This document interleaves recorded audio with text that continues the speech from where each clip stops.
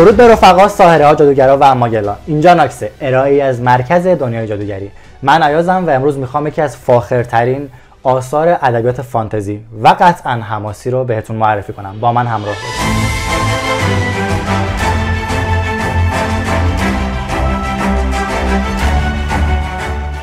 کتاب مسند استخوان اجدا اولین جلد از مجموعه خاطره سوگ و خار هستش. یه مجموعه سه جلدی که این جلد اولشه. جدیدا هم به فارسی ترجمه شده این جلد اول. و کتاب انگلیسیش هم واسه اولین بار در سال 1988 در آمریکا منتشر شد. نویسنده یه سری کتاب دیگه هم مرتبط به همین دنیا که ارتباط مستقیمی با همین داستان بعضیشون دارن بعضیشون هم ندارن نوشته. ولی مجموعه اصلی که باعث شهرت نویسنده هم شده سه جلد اصلی مجموعه است. مجموعه خاطره سوگ و خار. البته اسم اصلی نویسنده تد ویلیامزه نه تاد ویلیامز. ولی ما چون ایرانی هستیم و عادت کردیم به اینجور کارا بهش میگیم تاد ویلیامز. ماجراهای این مجموعه توی دنیای فانتزی و دگر جهانی که توسط نویسنده ساخته شده اتفاق میفته. اسم اون دنیای اوستن آرت هستش که به خاطر پادشاهی که داشته یعنی پادشاه جان پرستر جان سالهاست که توی صلح و آرامشه و روی جنگ به خودش از وقتی که ایشون پادشاه شده ندیده.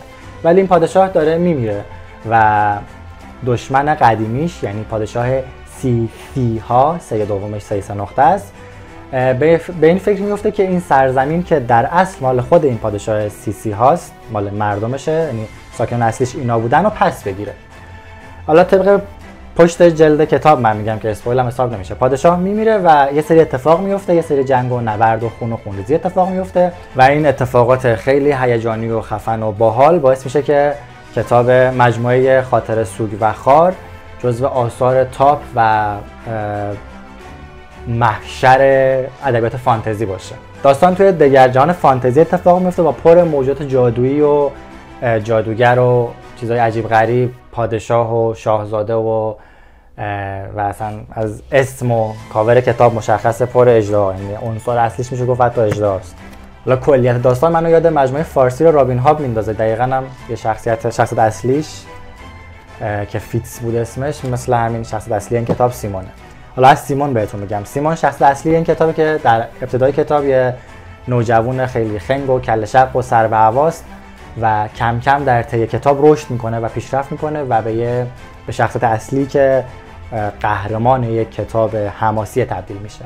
سیمون که همونطور که گفتم در ابتدای کتاب یه بچه خیلی سر به هواست توی قلعه والا زندگی می‌کنه که بخشی از قصره. کم کم سیمون رشد می‌کنه و با پیچیدگی ها و سختی های دنیا آشنا میشه می‌فهمه که یعنی از همون اول کتاب این آرزوش هست که فراتر از دنیایی که می‌شناسه بره. ولی کم کم متوجه میشه که دنیا اون چیز ساده‌ای که فکر می‌کنه نیستش. و کم کم توی کتاب و داستان با شخصیت های جدید و موجودات جدید و اجدها و حتی جادوگر و شاهزاده ها آشنا میشه و همه این آشنایی ها باعث میشه که ما سیر سعودی شخصیتش رو ببینیم و حس کنیم. یعنی یه چیز باورپذیری باشه واسمون.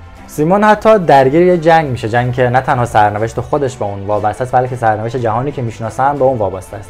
و کم کم می‌فهمه که می‌تونه اون قهرمانی باشه که باید باشه. آره سیمون کم کم رشد می‌کنه رشد باورپذیر و تبدیل به اون قهرمانی میشه که می‌تونه دنیا رو نجات بده و باعث پیروزی توی اون جنگی باشه که درگیر شده.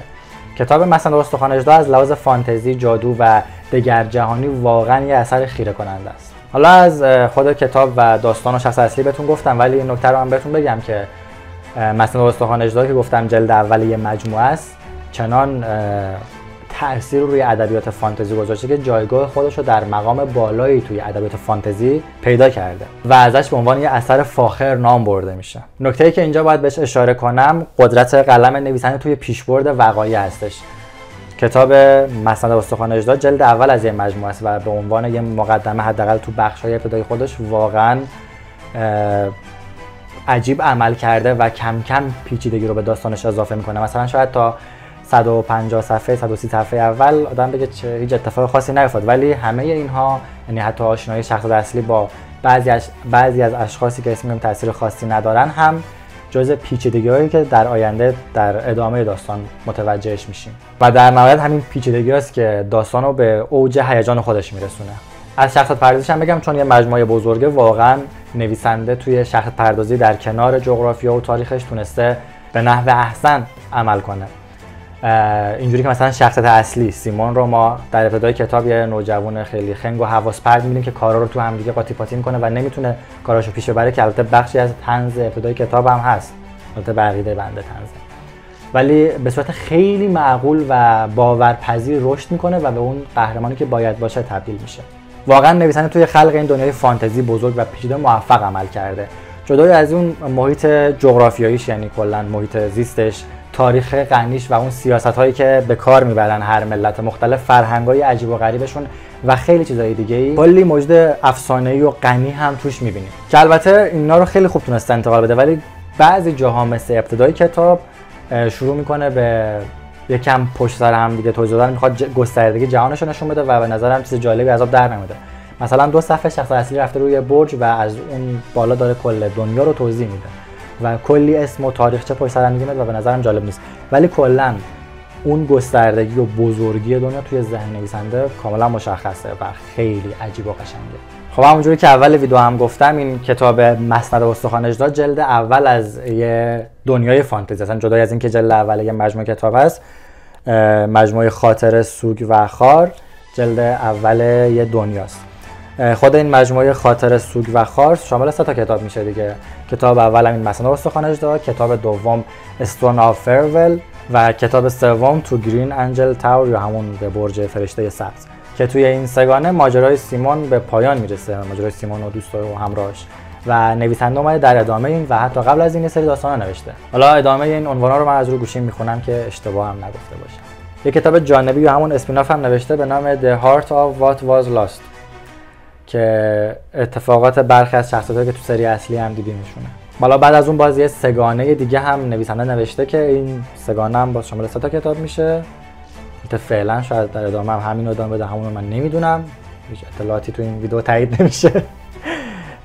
سری دومش اسمش هست The Lost King of Boston Art که جلداش به ترتیب میشه The Witchwood Crown Empire of Grass The Navigator's Children. و داستان بعد از ماجرای سگانه اصلی رو روایت می‌کنه. بعد, بعد از این هم ما یه کتاب تکجلی داریم به نام The Burning Man مرد سوخته که کلا یه شخصیت متفاوت داستان شخصیت متفاوته که فکر کنم فکر کنم یه گرافیک ناول هم داره این داستان. دو تا کتاب دیگه هم نوشته که پیش مقدمه همین مجموعه حساب میشن که یکیشون سال 2021 منتشر شده یکی دیگه سال 2024 اونی که 2021 منتشر شده Brothers of the Wind و کتاب دوم هم Splintered Sun The Splintered Sun که سال 2024 می. حالا این دومی هنوز منتشر نشده ولی کلا این دو تا کتاب به عنوان پیش مقدمه یه همچین چیزی واسه این مجموعه اصلی نوشته شدن و مربوط به ماجرای قبل از این مجموعه خاطر سود و خار هستش. حالا یه سری نکات جالب راجع به این کتاب هست که دوست داشتم بگم من وقتی این کتاب میخوندم خیلی حس نویسنده های بریتانیا رو ازش گرفتم مثل نوشته های رولینگ مثلا تو مقدمش و نوشته های تالکین. بعد دیدم هم تو خود مقدمه اشاره کرده بود که خیلی از تالکین الهام گرفته و هم توی جای مختلفی که مصاحبه کرده خودش اصرار داره که از تالکین الهام گرفته. ولی این الهام گرفتن اینجوری نیست که بگی کتاب دقیقا شبیه اونه. توی جهان سازی و اینکه دگر جهان بسازه موجود جادویی خلق کنه اونجور چیزا الهام گرفته و کاملا متفاوته. ویلیام سعی کرده که تو داستاناش به بررسی مسائل واقعی و فلسفی هم بپردازه مثل اینکه قدرت چه تاثیر روی ما داره یا جنگ چه تاثیر روی جامعه می‌ذاره. ویلیامز میگه که اون دوست داشته یه داستان بنویسه که نشون بده قهرمانان واقعی می‌تونن افراد عادی باشن که تو موقعیت های خاص و فوق العاده قرار می‌گیرن. این ایده است که ارباب حلقه هم داره اما ویلیامز خیلی بیشتر روی این نکته تمرکز کرده. ارتباط دیگه این مجموعه حالا دو تا از آثار top فانتزی میشن ارباب حلقه‌ها و نغمه‌ای از یخ و آتش دیگه. ارتباط دومش مربوط به ارتباطش با نغمه‌ای از یخ و آتش میشه. جورج آر آر مارتین نویسنده نغمه‌ای از یخ و آتش یا همون سریال Game of میگه که منبع اصلی الهامش واسه نوشتن این کتاب همین مجموعه بوده و این خیلی جالبه. نکته بعد این که کریستوفر پاولینی نویسنده مجموعه میراث یا همون وراثت که فیلم ازش ساختن اگه دیده باشین فیلم اراگون میگه که واسه نوشتن مجموعه اراگون اونم از همین کتاب الهام گرفته. پس این یه, م... یه کتاب فاخره یه مجموعه فاخره که من پیشنهاد می‌کنم که توی لیست توی ابتدای لیست خوندنتون بذارینش همین دیگه نکته یه نکته دیگه هم هست. آره یه سریش حاشیه همین کتاب درست کرد توی ایران. روزی که چاپ شد چند هفته از این کتاب چاپ شده. روزی که چاپ شد با این کاور چاپ شده بود. همینقدر زشت. و خیلی کاورش سر صدا کرد و همه اعتراض همه معترض بودن.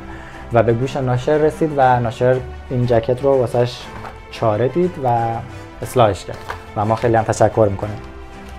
ولی وقتی که منتشر شد چیزی که پشمای همه رو ریختوند قیمتش بود.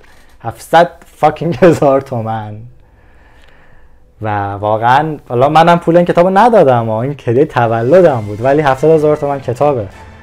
آره این دو تا نکته بود که خواستم بگم. نکته بعدی هم این که راجع به ترجمه فارسی اینه که ترجمهش خوبه ولی واقعا نیاز به ویراستاری داشته. یعنی مثل بقیه کتابای این ناشر کتاب ویراستاری نشده یا اگه شده تو ویراستاری دچار این اشتباه شده. چون بعضی از اشتباهاتش و غلطایی که توش داره مثلا غلطای جمله بندی خیلی به چشم میاد و یکم آدمو اذیت می‌کنه. ولی تعدادش خیلی خیلی کمه. آره. که در کل این کتابو بگیرین بخونین. البته با این کاور بگیرین بخونین. و لذت ببرین چون نه تنها یکی از آثار فاخر ادبیات فانتزی است بلکه تاثیر زیادی روی این سیر رشد آثار فانتزی داشته. مرسی که تا اینجا نگاه کردین. امیدوارم از ویدیو لذت برده باشین. نظرتون تو کامنت حتما بنویسین. همین دیگه. خدافظ.